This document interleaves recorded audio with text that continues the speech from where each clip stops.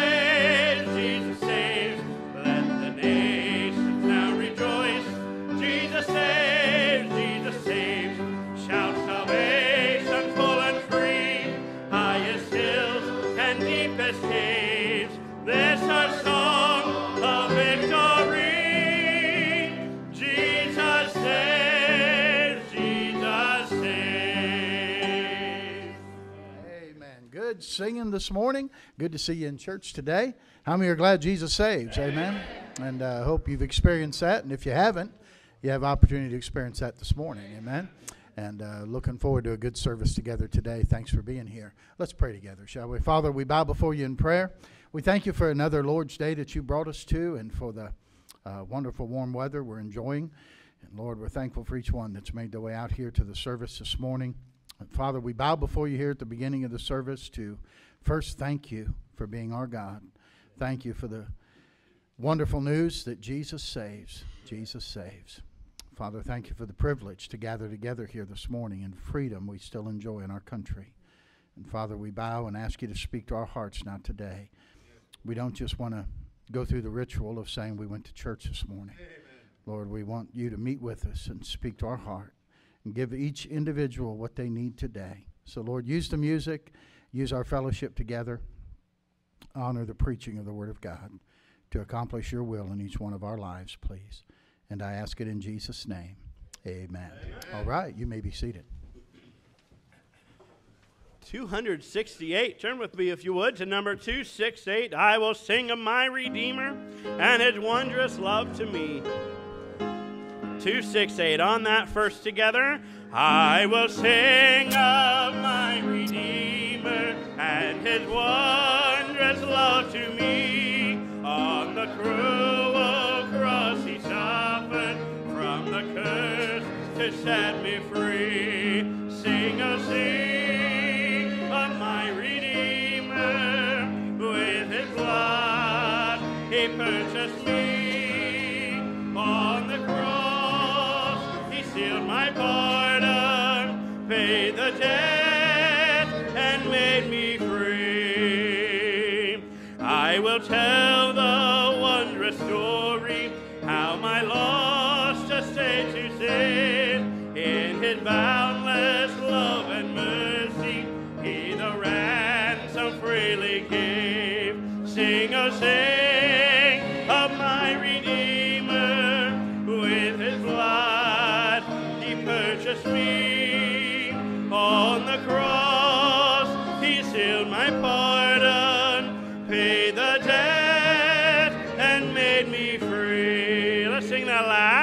I will sing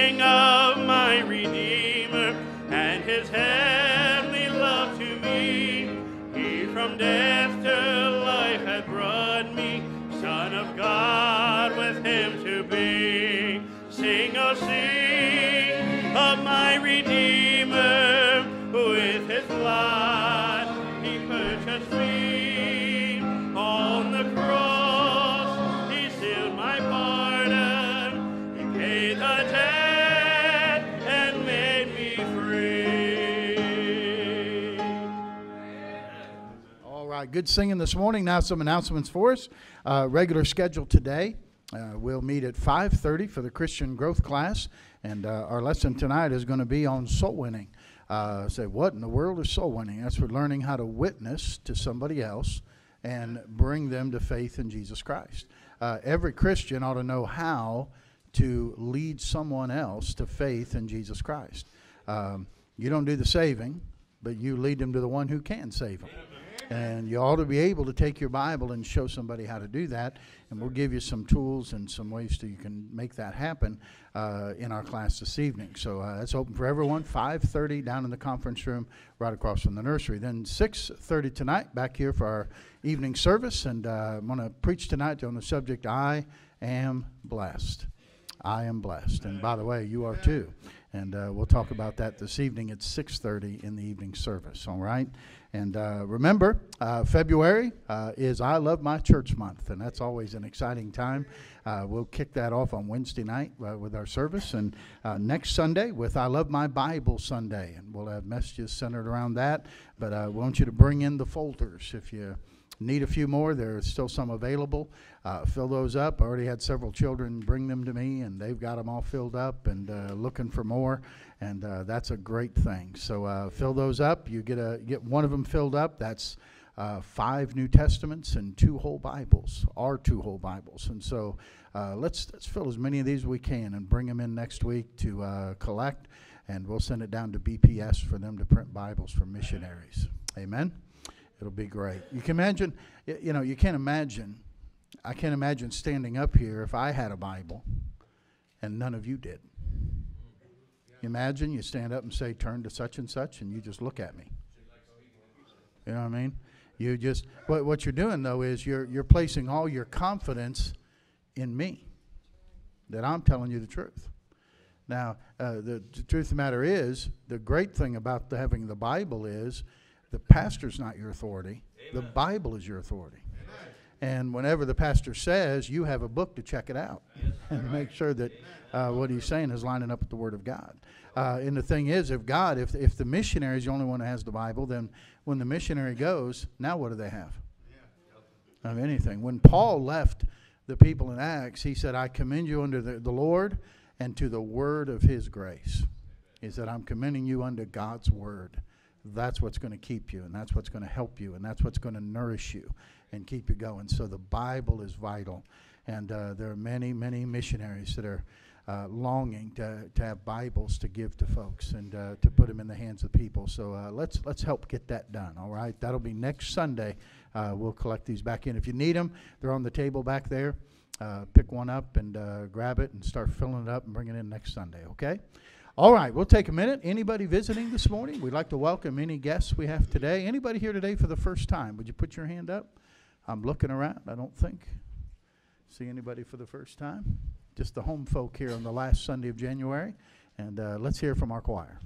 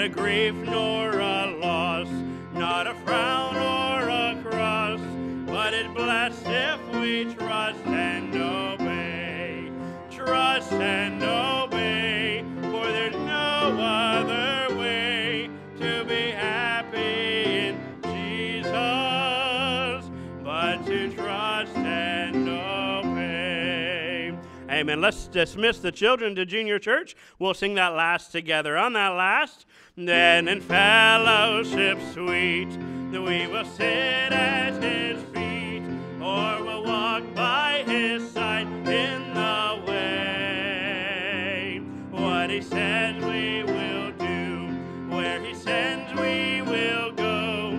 Never fear, only trust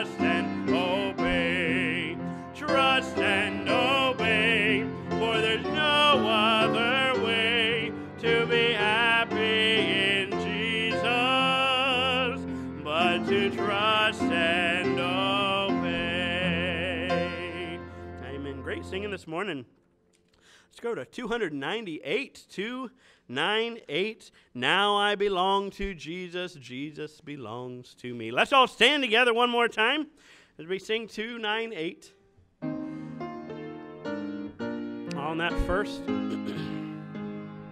Jesus, my Lord, will love me forever. From him no power of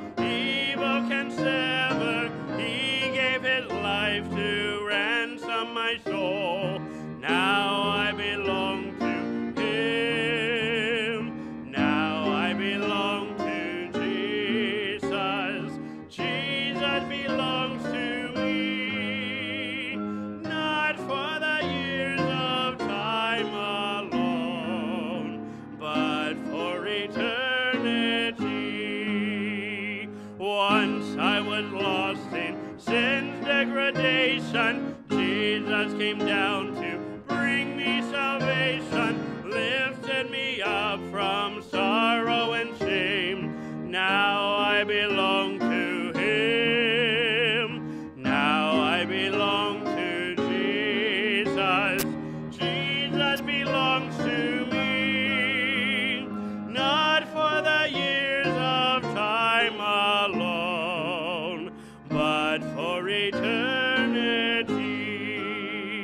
Amen. Greet one another. Make somebody feel welcome. We'll come back and sing that last stanza together.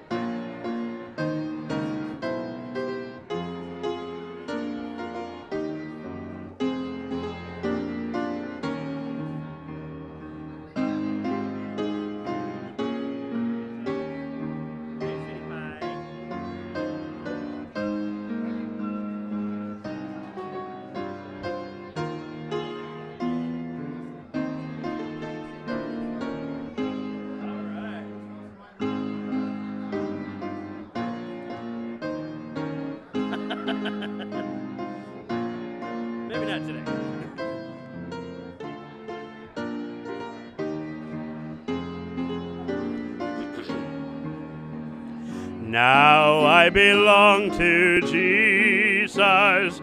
Jesus belongs to me. Not for the years of time alone, but for eternity.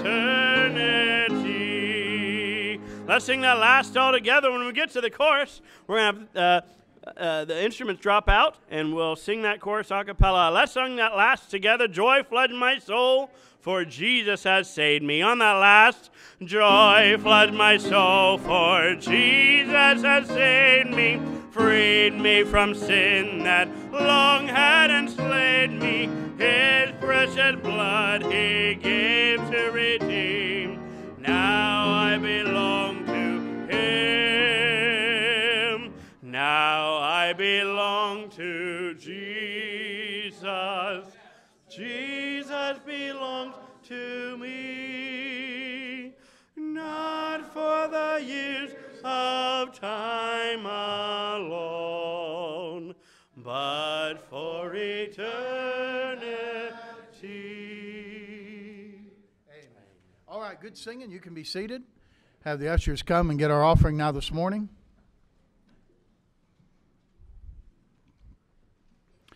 Give as the Lord has blessed and prospered you. Appreciate your faithfulness in giving. And uh, let's ask the Lord's blessing on our offering now this morning. I'll ask Brother Don Taylor to lead us in our prayer, please.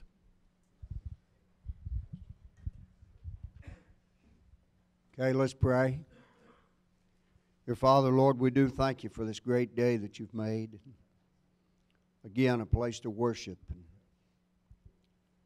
just even being born here in America. Lord, help our country. Open up the eyes of those that are blind and bring them back to you, Lord. Father, we ask that you bless this offering and multiply it as only you can. May it be pleasing to you. May each give as they should, Lord, with a cheerful heart. Be with the pastor as he opens up the word. We thank you for all this in Jesus' name. Amen.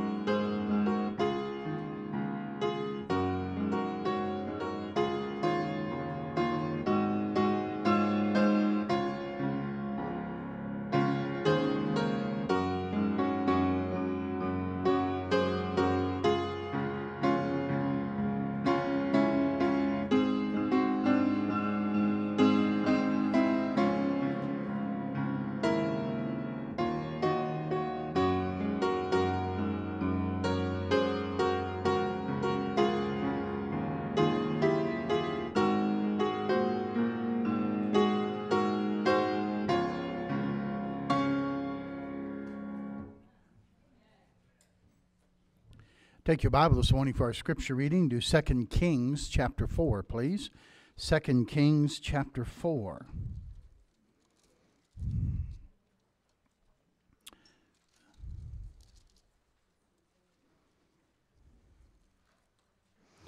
Second Kings 4. We're going to read verses 1 through 7. We'll read them responsively, as we normally do, together on verse 1, then I'll read 2 and alternate till we end together on verse 7 of 2 Kings chapter 4. And as our custom is, let's stand together, read the scripture, all of us standing to read God's word. Let's begin together on verse 1 of 2 Kings chapter 4. Ready?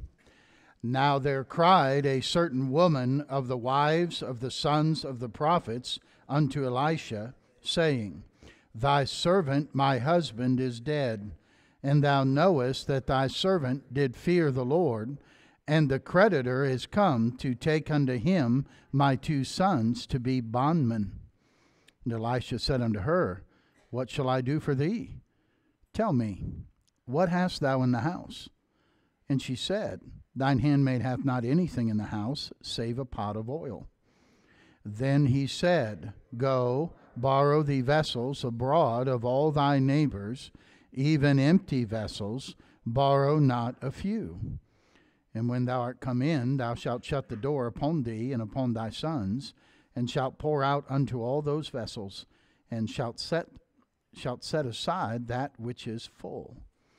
So she went from him and shut the door upon her and upon her sons, who brought the vessels to her, and she poured out. And it came to pass, when the vessels were full, that she said unto her son, Bring me yet a vessel. And he said unto her, There is not a vessel more. And the oil stayed. Then she came and told the man of God, and he said, Go, sell the oil, and pay thy debt, and live thou and thy children of the rest. And let's pray. Father, add your blessing, please, to the reading of our scripture uh, here this morning. I pray, God, that you would prepare our hearts and we'd be ready to receive the truth you have for us today. Lord, I pray that there are many things I know that could occupy our minds and distract us this morning from hearing from the still small voice of the Spirit of God. And I pray, Lord, you'd help us uh, as we listen to the special this morning that precedes the message, that you would use it to tune our hearts to yours and to focus our attention on the Word of God. And so, Lord, prepare us and prepare to speak to us today as only you can. I ask it in Jesus' name. Amen.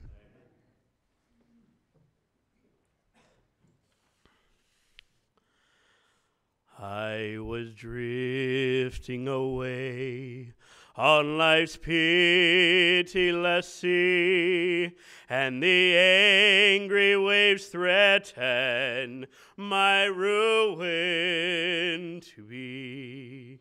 When away at my side there I dimly descried a stately old vessel and loudly I cried,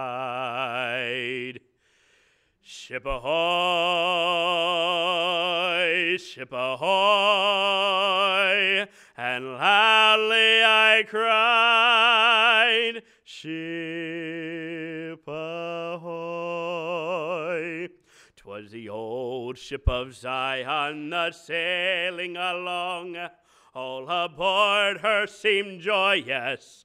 I heard their sweet song, and the captain's kind ear, ever ready to hear, caught my wail of distress as I cried out in fear. Ship ahoy, ship ahoy, as I cried out in fear. Ship ahoy. The good captain commanded a boat to be lowered, and with tender compassion, he took me on board, and I'm happy today. All my sins washed away in the blood of my Savior, and now I can say, Bless the Lord, bless From my soul I can say, Bless the Lord. Oh, soul sinking down, he sends merciless waves. The strong arm of our captain is mighty to save. Then trust him today, no longer delay. Board that old ship of Zion and shout on your way. Jesus saves, Jesus saves out and sing on your way. Jesus saves. Amen. Amen. Now, Father, we bow before you in prayer and we want to thank you for the old ship of Zion, wonderful salvation that we have in Jesus Christ. Lord, we started the songs today with Jesus Saves, and it's kind of fitting we ended with the special of Jesus Saves. And Lord, we're thankful that we have a Savior. We're thankful that Jesus is our Savior. And Father, I pray that you will minister to our hearts now this morning. I pray that you'll help me as I bring this truth today. And please help the folks as they listen. Lord, help us to grasp what the truth is and understand what you desire to do in each one of our lives. And I pray you'd use it to be a help and an encouragement to the people of God that are here this morning. So have your way in every heart and life, please. And I prayed in Jesus' name. Amen. Back in 2 Kings chapter 4, if your Bibles are still open there. And I hope, I hope you have your Bible. I, I know we're in an electronic age and people bring their phones to church, and it's just something about having relationship with a book. Uh, God gave us a book, and there's just something about that. It's if you want to mark a verse or highlight a verse or underline a verse or circle a word or write a note, it's a little tough to do that on your phone or on your tablet. Uh, it's just something about the book. Um, there's, uh, there's not much to distract you when you're looking in this, but there is a whole lot to distract you when you're looking on your phone. Amen, Pastor. Amen. Thank you. As usual, if I have to do the preaching and the amen, and we'll be here twice as long. So I'll do the preaching and you do the amen, all right? Here's a woman in 2 Kings chapter 4 that we don't know anything about her life except these seven verses. And it doesn't tell us a whole lot about her at that point, except she was married to a prophet, uh, someone who served Elisha and was uh, maybe one of the school of the prophets there. Maybe he was going to Bible college. I don't know. Uh, it doesn't say a lot about that. But all we know is he's died. And that's a difficult situation anytime, but it was especially difficult in those days. Uh, woman, women did not work, and she had no way to take care of herself. She did have two sons, and they could work and try to support her. However, uh, they were managing with that and going along with that, and uh, then she discovered that her husband had some debt, some creditors that he owed money to. And there was nothing she could do about that. A debt that, I mean, they were, they were barely getting by. I, I could picture her and her sons just kind of eking out the existence. And then all of a sudden the creditor comes and says, Here's what you owe. Here's what you need to pay us. And if you don't, we're coming to take your sons. They'll go to debtor's prison until they pay it off. Well, the last thing she needed, if her sons go away, she's got no way to support herself. She's got no way to take care of herself. So she goes to Elisha. She goes, What am I supposed to do? And, and tell me what I'm, what I'm supposed to, how I'm supposed to handle this. In other words, here, hey, I've been handling things all along, but now I've got something I don't know how to handle. I have something I don't know what to do about. You ever felt like you're handling life? You ever felt like you're handling your, as, as what we call life and the, the, the things that go along with it, and all of a sudden something comes up and, and something arises and something knocks on your door, and you say, I don't know what I'm going to do with this. I don't know how I'm going to handle this. What, what, what, what am I supposed to do now? I don't see any way possible to take care of this. And I'm going to talk to you this morning about what are you going to do or why does God rock your boat? You're in the boat and you're sailing through life and everything's going well, and all of a sudden God decides, I'm going to rock your boat a little bit. I'm going to send you into a storm. I'm going to send some rough times your way.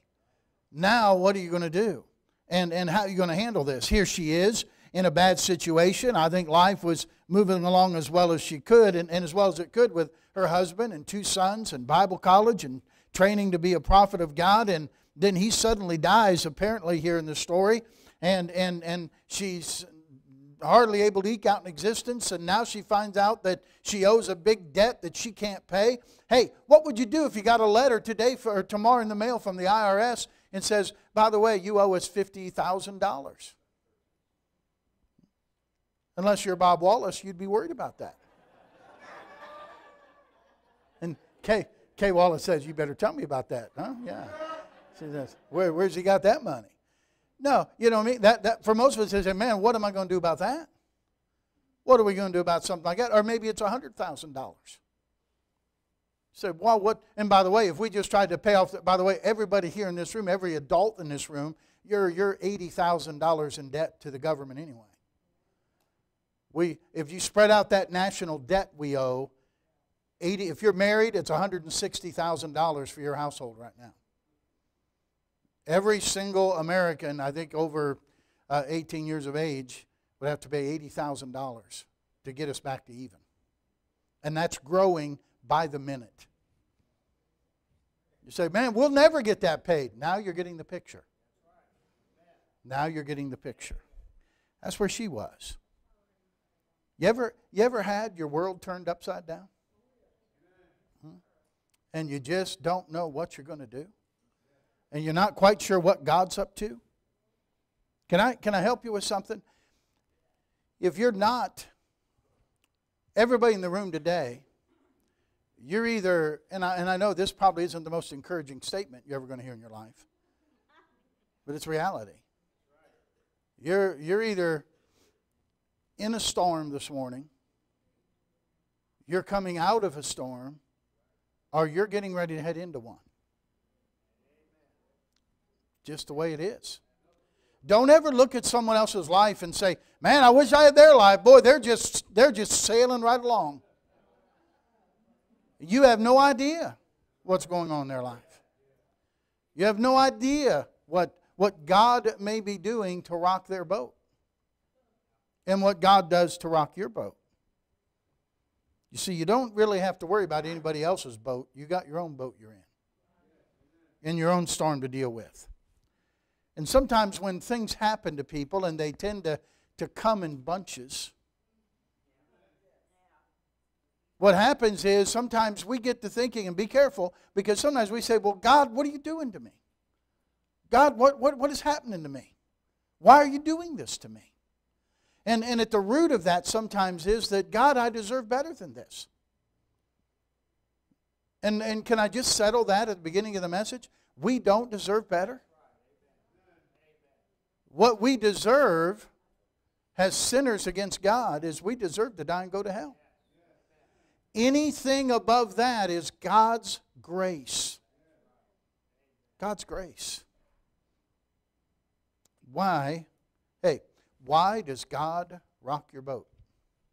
Why does God send the storm? Why troubles? Why tragedies? Why sometimes death of loved ones and friends? Prematurely, we look at it. Why financial struggles? Why broken relationships? Let me give you, let me give you three simple reasons why I believe God will rock your boat this morning. Number one, God will do it to show us that we need Him. God will do it to show us that we need Him. You see, we're don't, don't you don't need to ever say to anybody, "Well, I just struggle with pride," because that's the human nature. Everybody's proud. Everybody has to die to pride. The middle letter of pride is I. And all of us have an eye problem, not just Brother Moreland. Okay? All of us have an eye problem. And we get to thinking, once things are going along pretty good, you know what we think? I can, I can handle this on my own. Especially if we uh, come up with a problem and we take care of it and there's another situation and we can handle it we get to thinking, well, I can handle, I can handle things pretty good. I can do this on my own. I think that this widow woman thought, well, I've handled it so far since my husband died. I'm trying to keep these two boys in line.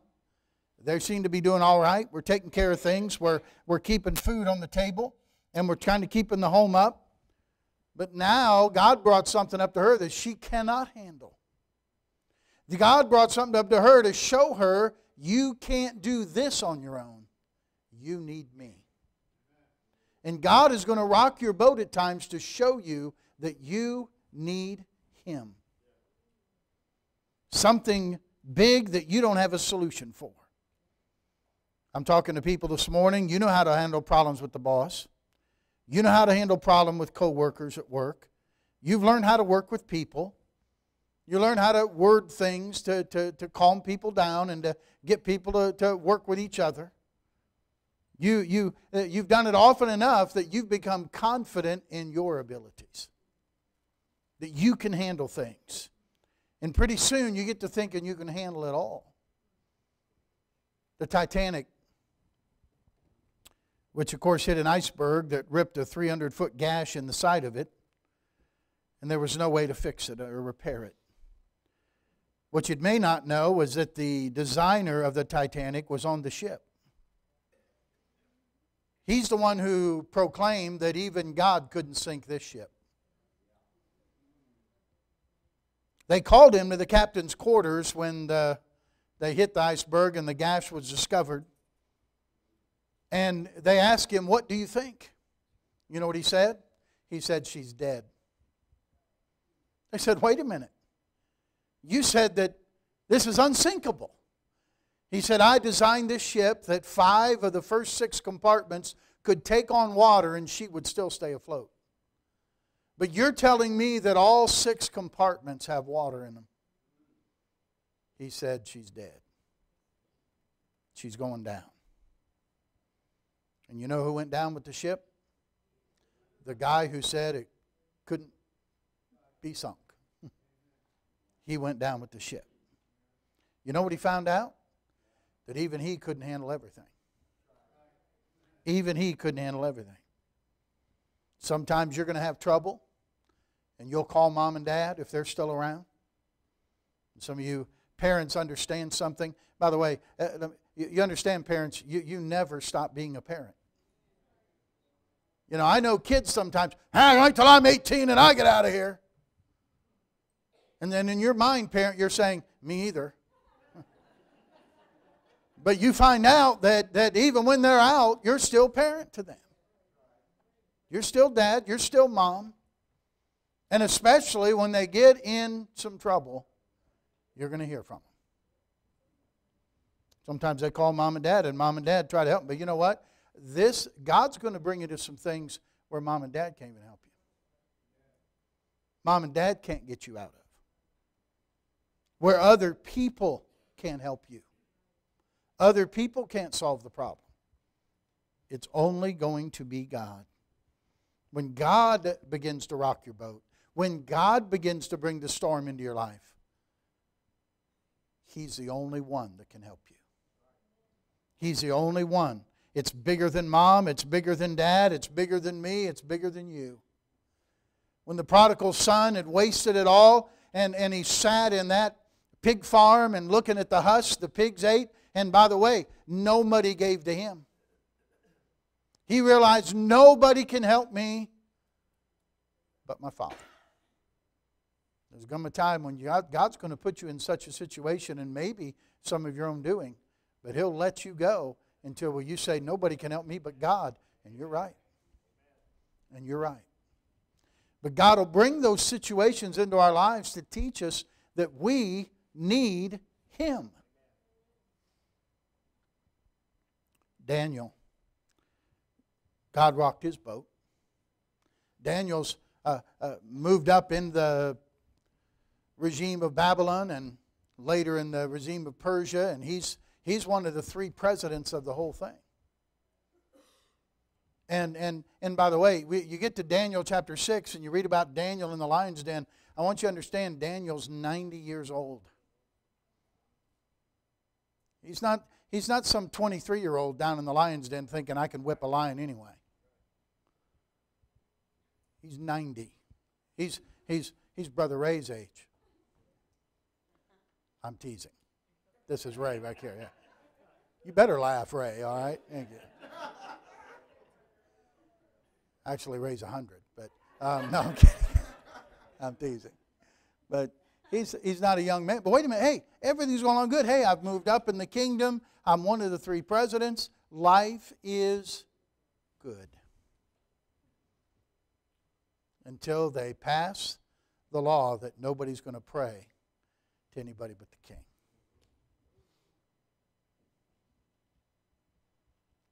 And the king has sealed it.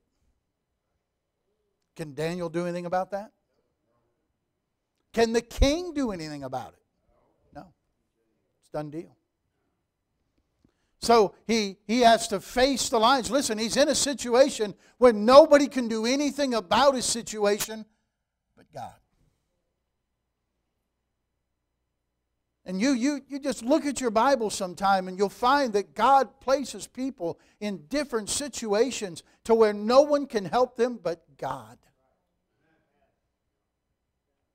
Because He's showing them that they need Him. By the way, God came through in that, didn't He? By the way, that's how, that's why it's difficult. Most of you, listen, most of you who got saved in this room, you got saved because God was rocking your boat.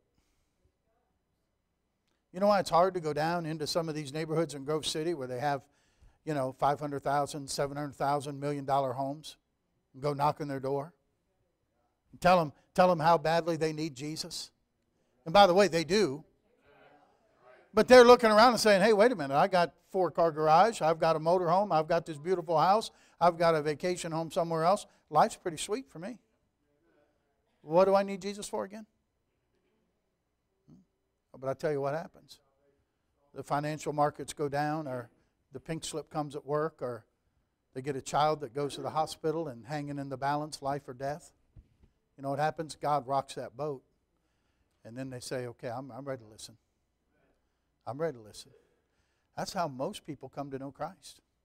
You didn't come to know Christ when everything was going great in your life. You came to know Christ when God was, was making it rough on you. And you knew, I better look to Him. There's got to be more, something more than this. And you look to God and you look to Christ and you got saved. So God brings those, God rocks the boat, God brings the storms in our life to show us we need Him. Otherwise, we go without Him. Remember, the Bible says, All we like sheep have gone astray. We have turned everyone to his own way. That's how we go astray. In all thy ways, acknowledge him, and he shall direct thy paths. The problem is, when we get confident and we get things going good and we think we're doing it, we don't acknowledge him in any of our ways. We just got this. And from, from maybe from Sunday to Sunday or Sunday to Wednesday, we really don't give God a thought. We just live our life the way we want to live our life. There should not be any disconnect, my friend, from what you are on Sunday morning and Sunday night and Wednesday night to what you are on Monday, Tuesday, Thursday, Friday, and Saturday. Don't make a disconnect between those two. Listen, you need Him and I need Him 24 hours a day, seven days a week. In all thy ways, acknowledge Him. So he shows us that we need him. Number two, the second reason I believe he brings storms in our life or he rocks our boat is to see how serious we are about living for him. To see how serious we are about living for him. Let me ask you a question. What would it take to get you to stop serving God? What would it take to get you to stop serving God? Wasn't that really Satan's question to Job? I mean, to God about Job? Job served you for nothing. And, and, you know, he serves you because all the good stuff you've done for him. He was telling God, you take that stuff away. That's a Slabaugh translation. But you take those things away that you've done for him, and he'll curse you to your face. And God said, okay, you can, you can take it away. And, buddy, he lost everything. You can't imagine. You can imagine what Job went through. Basically, all of his livestock, all of his cattle, all of his business is gone. Then all 10 children are killed. He has nothing left but his wife. And, and as she looks at him suffer and looks at the agony that he's going through, and by the way, in great agony herself, I cannot, my wife and I were talking the other morning, you know, I, I cannot imagine what it's like to lose a child. Some of you have been through that. I, I, I don't, I, don't, I don't understand. I, I can't begin to comprehend the pain that that would be and the, the empty place that's there always. Can you imagine losing 10? Now, don't understand. I, I understand from people who have lost a child. Don't, don't, don't. Sometimes people have five children and one passes away, and somebody makes the, the, the, the can I say stupid? All the kids are in children's church, right? Uh, comment that, well, you still have four others. Like, that's supposed to make this hurt less of losing one? That doesn't hurt less. But you understand, she went, she had, she had no, no children. None. All ten gone. And she finally looks at her husband and says, Why don't you just curse God and die? After all, that's what the devil wanted, wanted him to do. That's what everybody, that's what the devil and probably everybody else thought he would do. But to their amazement, and maybe to her amazement, uh, maybe to Job's own amazement, you know what he said? The Lord has given and the Lord hath taken away. Blessed be the name of the Lord. Wow. Job said, You think that's going to get me keep stop serving God? No. That won't do it. And the devil came back and he said, Hey, well, wait a minute. Uh, let's do this. Uh, skin for skin, a man will give everything for his own life. And, and he said, I'm going to touch his, his, his health. And God says, You can touch his health, but you can't take his life. And boy, he struck Job with boils from the top of his head to the bottom of his feet. And those were so miserable, and, and he was in so much pain that he, he broke off a piece of pottery and he scraped it down his arm just to scrape those boils off, and that felt good compared to the pain he was in. And yet, and yet Job, his testimony as he lay there in ashes and boils all over his body and miserable, you know what he said? Though he slay me, yet will I trust him.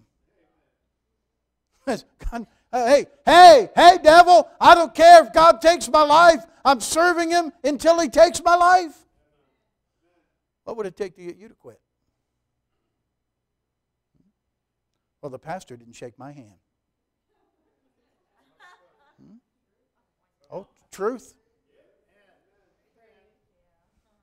Well, the song director told me I couldn't sing a lick.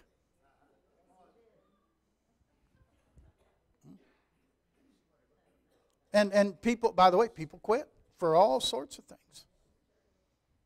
Petty things, simple things. And, and I think sometimes they'll think, huh, that's all it took? That was easy. That was easy. Hmm? What does it take to get you to quit serving God? Look and uh, hold your finger there in Second Kings, but go to uh, New Testament to Second Corinthians chapter 11. Would you look there, please? 2 Corinthians chapter 11. said God will rock our boat. God will bring the storm to us to show us that we need Him, but He'll also do it to see how serious we are about serving Him. How serious are you about serving God? Paul said in verse number 23 of 2 Corinthians 11, Paul writes, Are they ministers of Christ? I speak as a fool, I am more in labors more abundant, in stripes above measure, in prisons more frequent, in deaths oft. Of the Jews, five times received I forty stripes, save one. Thrice I was beaten with rods, once I was stoned, thrice I suffered shipwreck, a night and a day I've been in the deep. In journeyings often, in perils of waters, in perils of robbers, in perils by mine own countrymen, in perils by the heathen, in perils in the city, in perils in the wilderness in perils in the sea, in perils among false brethren, in weariness and painfulness, in watchings often, in hunger and thirst, in fastings often, in cold and nakedness. Besides those things that are without, that which cometh upon me daily, the care of all the churches. Now, was this Paul's resignation letter? no. He wrote over in the book of Acts, he says, None of these things move me. He says, I, am going to finish my course with joy in the ministry that I've received of the Lord Jesus. I wonder if that's the kind of Christian life that most American Christians have, whether they'd keep going or not. Say, well, that, if that's what serving God does, forget it. If that's what I get for serving the Lord, man, count me out. What's it take to stop you? Maybe you, you know, it's interesting. Another place, Paul writes about how they've been knocked down but not knocked out, persecuted but not forsaken. And he, he, he hey, you've been knocked down? And, and maybe it's sin. Maybe it's disappointment in somebody else. Maybe it's the death of a parent or the death of a child. I remember reading that there were two evangelists back in the 1940s that the Southern Baptist Convention wanted to really get behind and promote. And, and actually, there was one that they really wanted to back and make him the national evangelist, so to speak. And this fella ended up turning away from God and actually became what he called a self proclaimed atheist and didn't even believe there was a God. Say, what turned him around like that? What, what turned him away from preaching? What turned him away from being an evangelist when, when, by the way, the one they chose to take his place was a man named Billy Graham. And they put their weight behind him. And by the way, when you hear Billy Graham preaching in the 1940s and in the early 50s, is not the same Billy Graham you hear in the 80s and 90s. He was a fireball, hellfire and brimstone preacher. And, and, and this fella, they said, was better than he was. You know what happened? That fella named Templeton, his parents were killed in a car crash. And he got mad and bitter at God about his parents being taken in a car crash. And he turned away from God.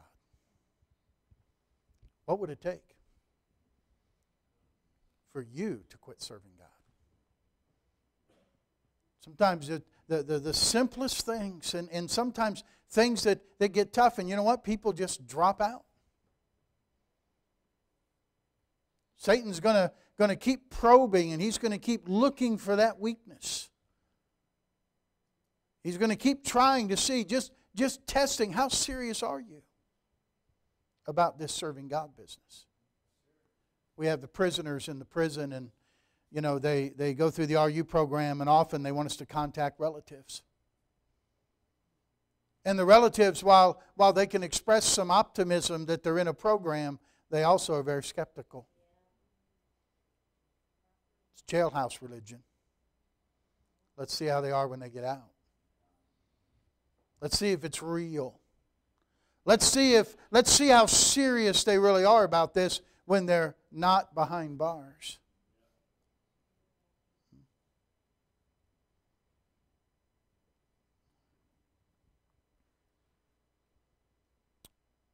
Be careful. Sometimes those who boast the loudest are one of the first ones to give up. So, how you know that's true? I read about a fellow in the Bible who was that way. I'm really, I'm really cautious, and we've seen it in RU when somebody stands up to testify and talks about how great they're doing and how good they're doing. And I cringe when I hear that. Because there's somebody in the Bible who stood up, a fellow named Peter, who said, Lord, though everybody's going to forsake you, I'm not forsaking you, buddy. Bunch of wimps over there, but not me. Man, I'm, I'm going to be with you all the way. How'd that boasting work out for you, Peter? Hmm? He had a little girl come up and question him, and he couldn't even handle her. He'd been cursing and swearing again. He said, Wait a minute, that Peter? You know what? Peter, Peter quit. He wept bitterly. And, and Jesus tried to send him the signal when he told the women to come back from the, uh, those who had uh, seen him at the tomb. They said, You go tell the disciples and Peter that I'll meet him in Galilee.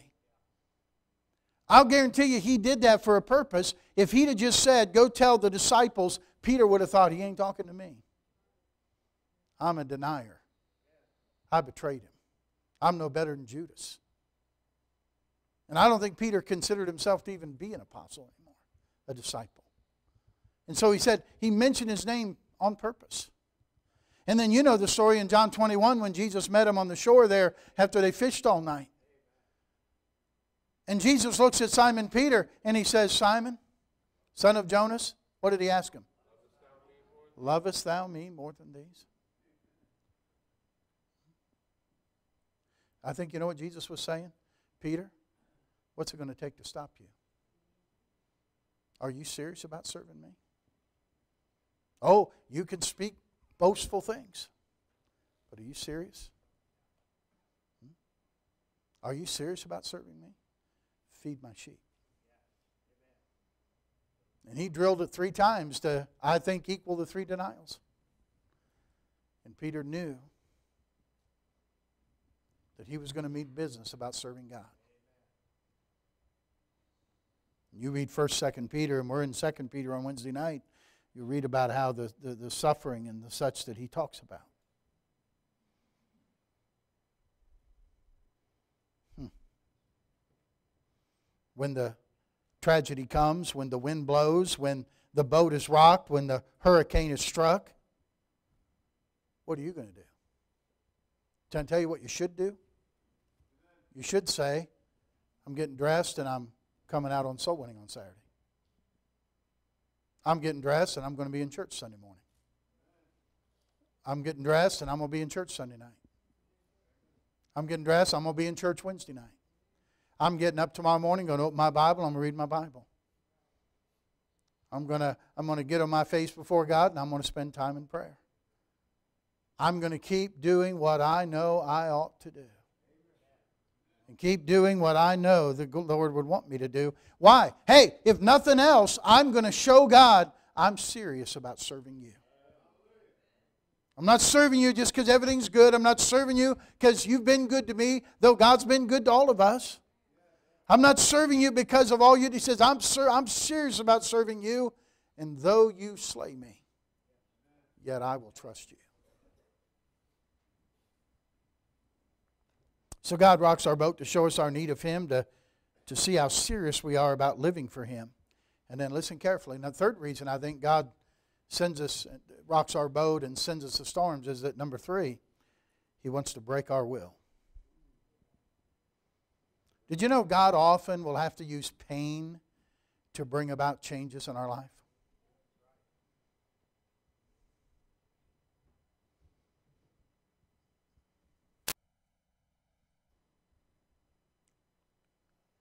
How many people have you known that have that have struggled with smoking until the doctor says you have lung cancer, you better quit right now. And they quit. Or you have a or they have a heart attack. Bam, Pain has a wonderful way of having us make changes in our life. We always pray, God, take the pain away. I don't want any pain in my life. And God says, I got a purpose for that pain. How about asking me to accomplish the purpose for which I gave you the pain?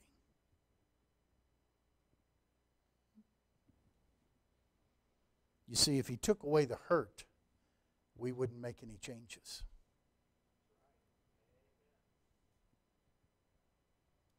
You know, a child, a child learns, don't they? when they touch that stove and it's hot?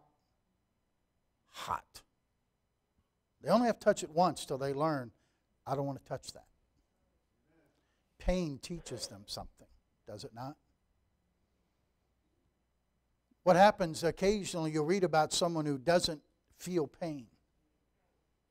That's a very serious condition. Because they could seriously hurt themselves and not know it. Seriously burn or break a, break a, break a bone and they don't feel any pain. There are people like that. There are some things God wants to teach us that He can only teach us through pain. We'll not learn it any other way. The greatest, you know, the greatest enemy you have in serving God is not the devil. It's the person you got up and looked in the mirror this morning. That's the biggest enemy we got. That's the person we have the roughest time with. Oh, I know sometimes we're, we're quick to give the devil a lot of credit when the devil had nothing to do with it. It was us, it was our flesh. It was just our, our, our, our stubborn will. And That's always the problem, is our will. You know, one of the biggest things that a Christian ever learns to do is to do what God tells them to do. What, why, why won't some people get saved? Yeah. Bottom line, they don't want to. I will not. Jesus looked at a group of people one day. He says, You will not come to me that you might have life. When you ever witnessed anybody give the plan of salvation, I always ask them, Now are you willing to accept Jesus Christ as your personal Savior? And it's either yes, I'm willing, or no, I'm not. There's no middle ground. And by the way, if somebody says, Well, I'll think about it, that means no, I'm not willing. It's our will. Now, our biggest problem, not only is that a problem with salvation, but wait a minute, those of us who yield to Him for salvation, then it becomes a problem now that we're saved. Are you telling me that every time since you've been saved that God prompted you to do something, or you read something in His Word that you said, Yes, Lord, and you did it? Ah, so we still have a problem with our will, don't we? God still has to break our will. We resist His will, or sometimes we just flat ignore His will altogether. So God will bring a storm, God will rock our boat because He wants to break our will. God's getting us to bring us to a point to where we'll say, Not my will, but thine be done. You know, that's what goes on when you have children. Charles and Shauna are here today, back here. They come to our RU program on Friday night. They have a, how old's your little girl? How old is your little girl? The one that Charles had down here Friday night? Two years old. The terrific twos.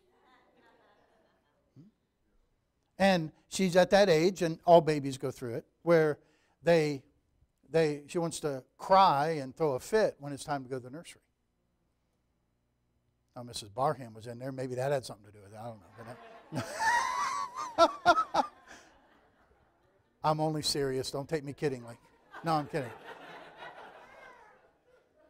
Just had to make sure she was awake and listening, okay? You're listening? All right. Can't now. You got to do worse than that to get out of the nursery. So, but she's at that age, and kids go through that. But I was talking to Charles and Shauna, and I said, "Listen, here's here's what you got to do." I said, You got to put her in that nursery. She'll scream, she'll cry. But right now, she's training you. She's just taught you that if she'll cry and fuss, she'll get to sit with dad all night. And dad will hold her in his lap, and she'll get to spend time with him. And she just trained you. I said, Or you're going to train her and say, No, you're going to the nursery because we have class. And, and to their credit, they took the advice and they put her in. And guess what? She, they're here today, and I suppose she is. She must have lived through it. Huh? But you see, you're, you're, and by the way, you do that. You tell your child to, you, you stand in there and you say, come here, and they run the other way. You better go get them and give them a proper spanking and then sit them in the same place and say, come here. And if they don't come here, you go get them and you discipline them again and you set them there and you bring, you know why? It's a battle of the wills, isn't it? Whose will is going to win out? Your will or their will? Now, some of you with small children, you know. You, you got a battle on your hands with some of those kids. But whose will is going to win out? Hey, we've got far too many homes in America where the child's will is ruling the home, not mom and dad's will. But wait a minute. We probably have far too many Christians that their will is ruling in their life instead of God's will. You can have a battle of the wills with God, but I'll guarantee you God's going to win. God is going to win. God will break your will. He's able to break your will. You get saved because you surrender your will. I, I am called to the ministry because I surrendered my will. Went to Bible college because I surrendered my will. Prepared for the ministry because I surrendered my will. What is it that God's asking you to do and you won't surrender because of your stubborn will? What is it? You really think you can hold your will out against God's? Ask Jonah how that works out. God will win. Is God rocking your boat this morning? Are you in the midst of a storm? Are You aware that God may be just showing you that you need Him? God may be showing you that He's, he's finding out if you're serious about really serving Him.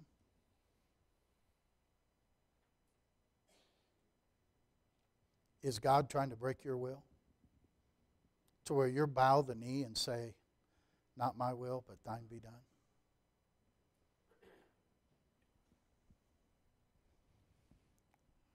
A man had, a, a, a missionary, pastor met him one day and he said, uh, he met him and the fellow introduced he was a missionary on a deputation to go to Japan. And the missionary and the pastor was asking him about it. He said, Well, tell me your story. He said, Well, he said, I was in church one day and I, our family hadn't gone to church, but somebody invited me to go to church and heard a message on salvation and Christ being the Savior, and I surrendered to His will and I got saved that day. He said, and then it wasn't long after that, God dealt my heart about serving Him, and I went forward and surrendered to serve Him with my life whatever he wanted me to do be a preacher whatever. And that's when someone told me about Bible college and I should go get training at Bible college. And by the way, let me, let me help you understand something. Bible college does not educate you, it, it begins to prepare you for ministry. But it doesn't, it doesn't you, you really learn about the ministry once you're in the ministry. I can, I can give you things this long that they never that I've run into in the ministry that I never heard a thing about in Bible college. Hmm. and but he said I surrendered and I went to Bible college.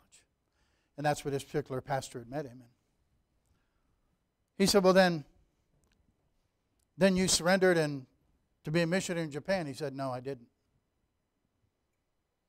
He said, I heard a message one day, and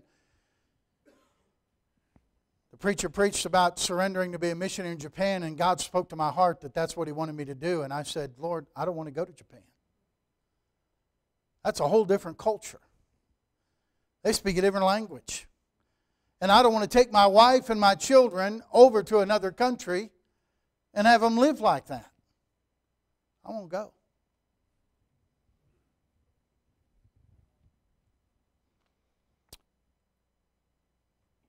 But he said, You're, You told me you're on deputation to go to Japan. He said, That's right. He said, I'm driving with my family. And I drove into the side of a train. Said the train didn't hit me, I hit the train. And it drug our family 250 feet down the tracks. And I heard my wife and my children screaming. The metal going down the tracks. Then he said, I watched as those paramedics picked up the lifeless body of my two year old son and laid him on the hood of the car and say he's dead. And I dropped to my knees and said, God, I'll go to Japan. I'll go to Japan. Do you really want to get into a battle of wills with God? Why don't you surrender your will to Him? Do what God's asking you to do. That's why God sometimes rocks our boat. He's showing us we need Him. He's seeing if we're serious about serving Him. And He wants to break our will so that we'll submit our will to His will. That's why God rocks your boat. Father, take the truth now this morning. Thank you for the attention of everyone today. And Lord,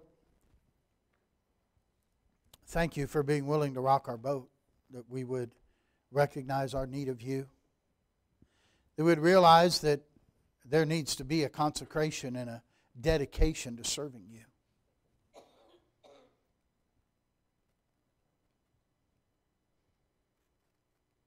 That our will needs to surrender to your will. And Father, I pray that those in this room that are you're rocking their boat today, that they would look at these areas and say, is which one of these or which of these or how many of these is God trying to get me to do?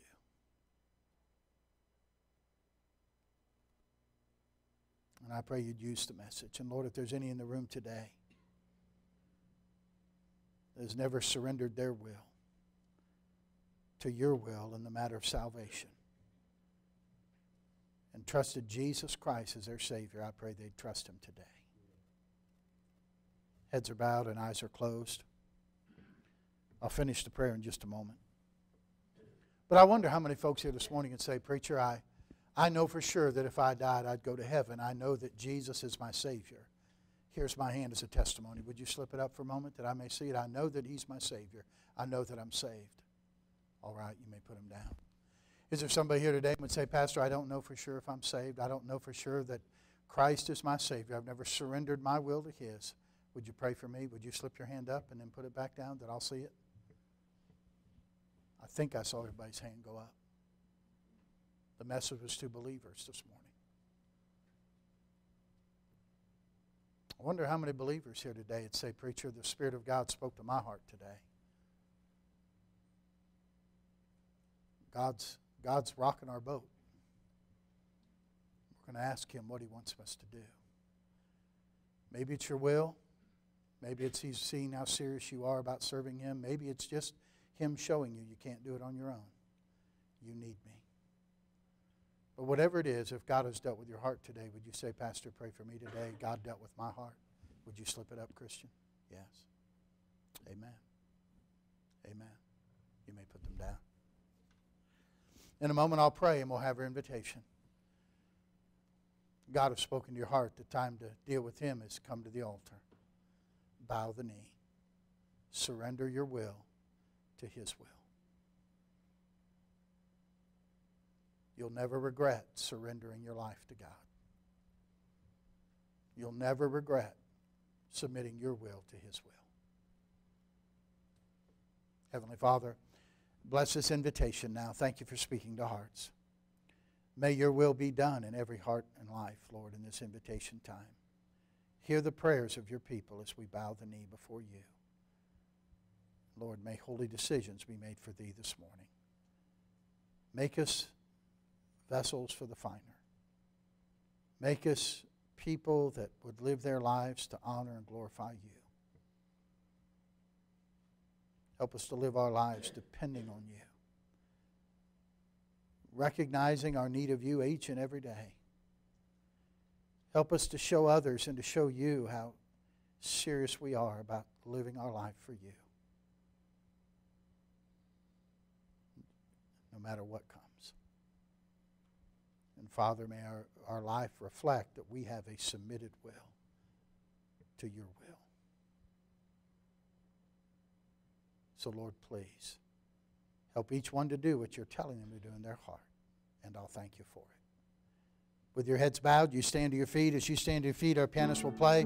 As she plays, Bob's going to sing. God has spoken to your heart this morning. You, you respond to Him oh, today, will you? Jesus That's right. That's right. All to Him I freely give. I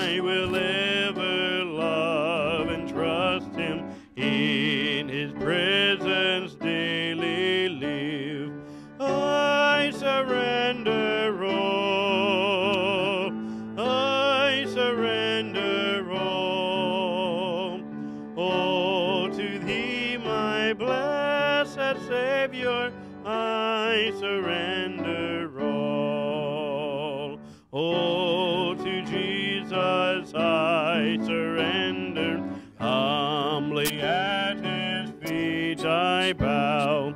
Worldly pleasures all forsaken. Take me, Jesus, take me now. I surrender all. I surrender all. Oh, to thee, my blessed Savior, I surrender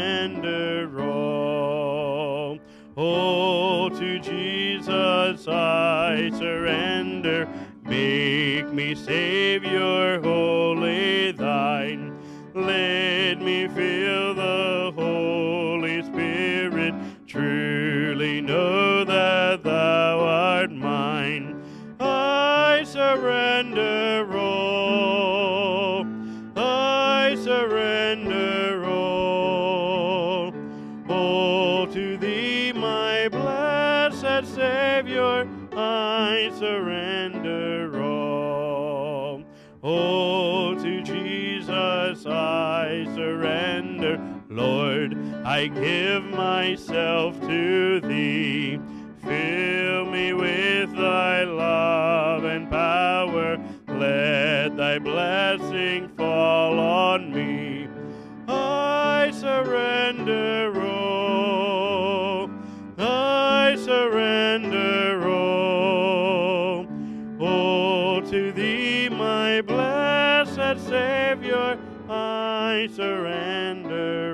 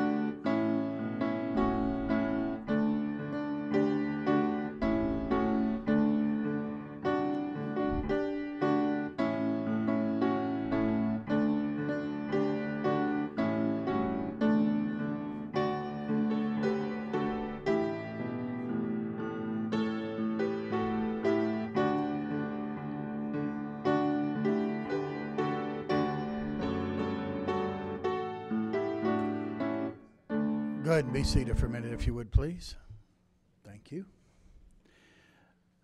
We're glad to have Xavier and Felicia coming this morning. Xavier and Felicia Perrick, and uh, of course, they've been members here, I think, since September. Does that sound right? Or was it?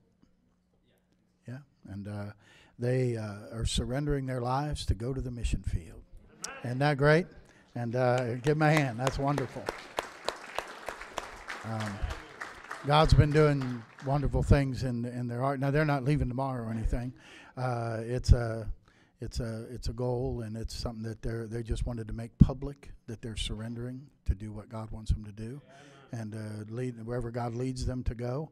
Uh, they have a surrendered will to what God wants, and uh, this is just to get their church to pray for them, to continue to encourage them, and really to help them to stay accountable as well. That they'll not get sidetracked and uh, that you know Satan loves to to get in and get you looking elsewhere, and um, it's a it's a battle sometimes, especially when you have family that does not understand uh, why you would not want to stay in America, and uh, why you would go to some other country. So uh, please pray for them and uh, pray for God to just lead their every step. And uh, that He will direct their path.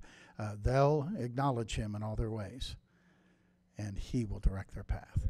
And uh, but I, I, appreciate these two and their heart for, for the Lord and their desire to serve Him, and uh, they have uh, just jumped in serving the Lord uh, here, and uh, that's who God.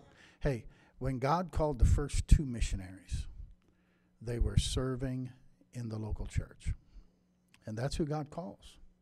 God calls people already serving Him and uh, busy doing what they what they know they should do, and then God directs them to another place. And uh, we're excited about that. Excited about what the Lord's going to do in your life. Amen? And uh, that's great. Congratulations, you. We'll have them come to the back so you can uh, greet them and congratulate them and assure them on your prayers. And I think uh, for now, get with Brother Moreland and make sure he makes a prayer card up for you that we can use just here at church. You know what I mean? Doesn't have to have a country on it if you don't know exactly where you're going. Uh, he's looking at some areas up in Russia. Um, so that's a possibility, but just, just a prayer card just so you can have it and uh, pray for him and uh, be faithful to pray for him. It's a good reminder uh, to remember to pray for them on a daily basis. All right? Okay, let's stand together. We'll have a word of prayer. Father, thank you for this morning. Thank you, Lord, for meeting with us and for decisions made for you today. God, thank you for being a God that is involved in our lives. You desire to work in each one of our hearts and lives that we'd bring honor and glory to you and that we would conform to the image of your Son and our Savior, Jesus Christ. Father, thank you for Xavier and Felicia, and Lord, may your hand be upon them, and may you, as I prayed earlier, clear any obstacles in the way that would keep them from going to the field, Lord, and things that uh, look impossible to us or look difficult to us. We know there's nothing too hard for God. And so, Lord, continue to lead them and guide them and use them uh, in a great way both here and in the future, wherever you would lead them. Now, Father, dismiss us with your care.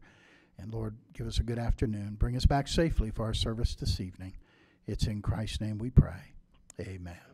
Amen. Let's sing I'm so glad I'm a part of the family of God. Brother Bob. I'm so glad I'm a part of the family of God. I've been washed in the fountain cleansed by his blood, joined hands with Jesus as we travel this sod. For I'm a part of the family, the family of God. Amen. You're dismissed. We'll see you tonight.